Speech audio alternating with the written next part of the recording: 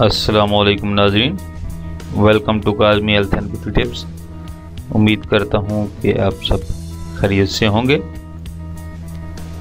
Eczema या ख़ारिश की अलामत, वजूहत और इलाज। ये जल्द की ऐसी ख़ास बीमारी है जिसमें जल्द खुश्क, खुरदरी और ख़ारिश ज़्यादा हो जाती है। ये अमूमन बचपन से शुरू हो जाता है और उम्र के साथ ठीक हो जाती है। अलामत, नाजरीन, इस मोजी मर्ज में मरीज़ की दर्ज झैल अलामत होती हैं। नंबर एक, खुश्क हसास जल्द। नंबर दो, खुरदरी जल्द, जिस पर खारिज से स्कैब या खुरुंड बन जाता है। नंबर तीन, खारिश बार बार मुख्तफ हिस्सों पर नमोदार होती है। वजूहत नाजरीन, ये ऐसी मर्ज है जिससे आपकी खूबसूरती, मांद क्या पूरी ही ख़त्म हो जाती है। मर्द औरत दोनों में दर्जैल वजूहत की बिना पर यह बीमारी होती है।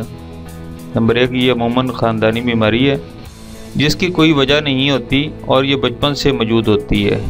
नंबर दो, किसी चीज़ से एलर्जी की सूरत एक्जिमा बढ़ जाता है, जैसे कि ख़ास साबुन, शैम्पू लोशन, बर्तन धोने का साबन, सर्फ और बाज़ात कुछ ख़ास खुराक भी पहले से मौजूद एक्जिमा को बढ़ा देती है। जैसे गोश्त, दूध, अंडे और बादाम वगैरह। नंबर तीन, गर्दो गुबार। नंबर चार, शदीद मौसमी तब्दीली। नंबर पाँच, जहनी या जिसमानी तनाव। नाजरीन, मरीज़ का इन सब चीज़ों का ख्याल रखना ज़रूरी है। इलाज, अलामत को रोकना ही एक सीमा का इलाज है। इसका मुकम्मल तौर पर ख़ात्मा मुमकिन नहीं। जिस चीज़ से एलर्जी हो, इस चीज़ से दूर रहना बेहतर है। ज़्यादा गर्म पानी से मत नहाएँ और धूप में चलने से गुरेज करें।